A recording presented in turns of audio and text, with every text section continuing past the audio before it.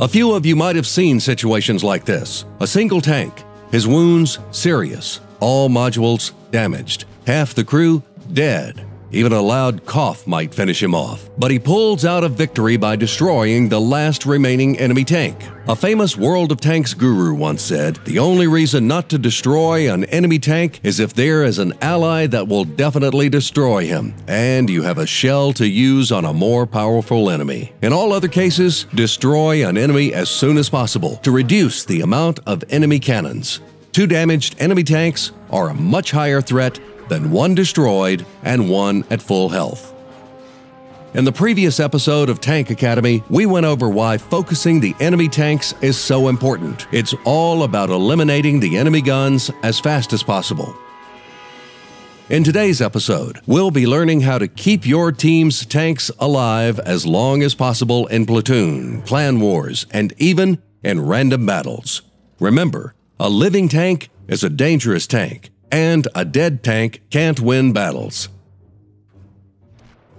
Going into this lesson, we will keep this phrase in mind. The outcome of the battle is determined by the surviving tanks. Let's learn to save our tanks from complete destruction. In principle, this isn't going to be very hard to learn, but it's another one of those skills that you should take the time to drill with your troops because it requires a great deal of coordination.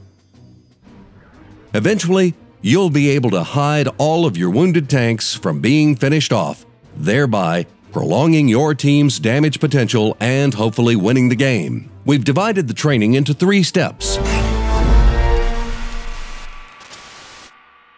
Step 1 Paired exercise. Organize a training room, and once on the map, split your teams into pairs. Each team will sit one in front of the other, making a short column, have each pair practice swapping positions. One moves to the front, the other to the back. Try to make it a speedy transition.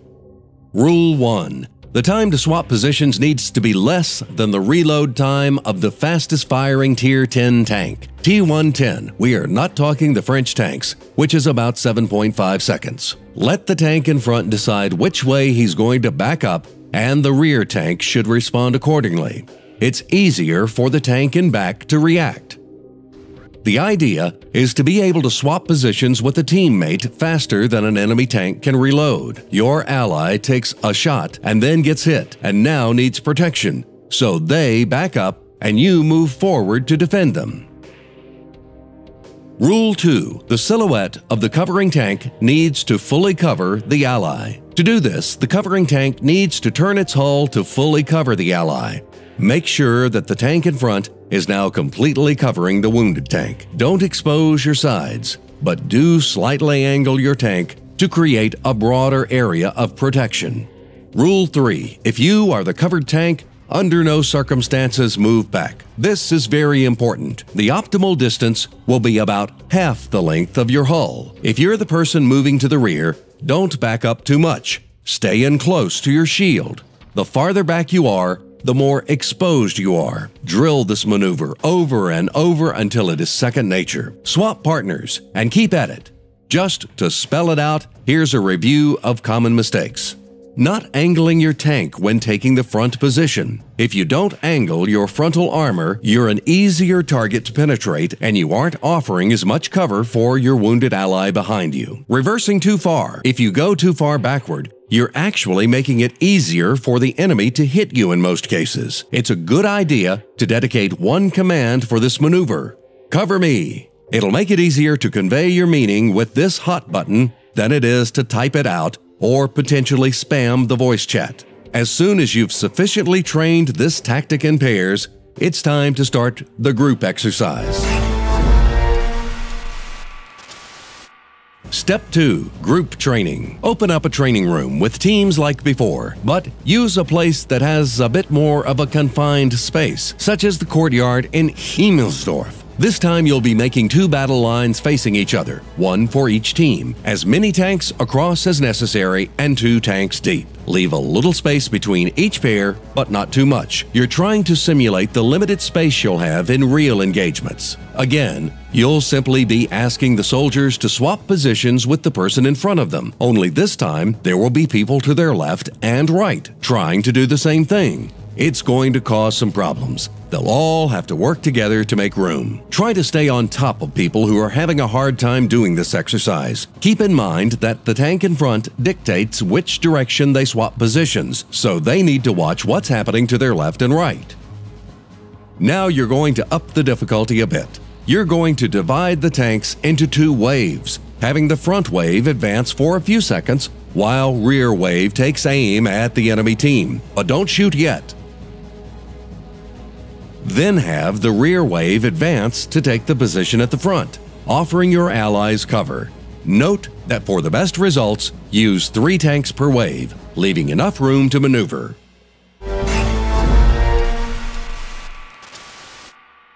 Step 3. Group Training with Live Fire. Once you're comfortable with these maneuvers, then it's time to start advancing and shooting, effectively combining all the skills we've covered in the Tank Academy so far. Focus fire, cover your wounded tanks, and repeat until one side or the other is victorious.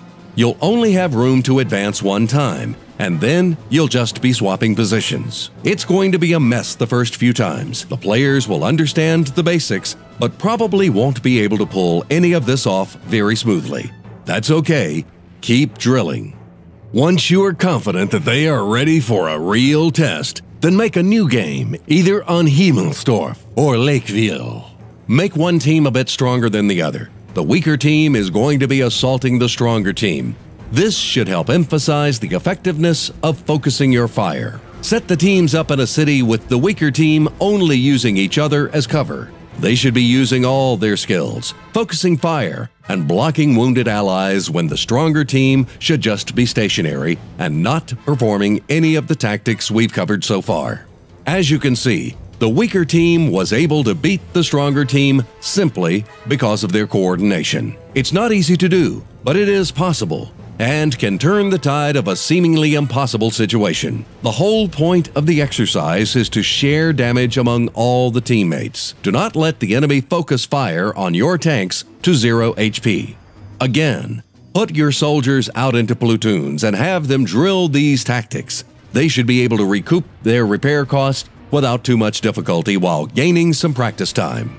Our lesson here is over, but your work has just begun. It's going to take many practice sessions to be sure that your entire team is ready for combat. When you enter battle, either in a tank company battle or on the Clan Wars map, keep these lessons in mind. Try to repeat the material, even if your teammates are having trouble with it. The only way to improve the coordination of these tactics is to keep practicing them. Our next lesson is going to cover group formations and moving as a group in different situations. Until then, good luck on the battlefield.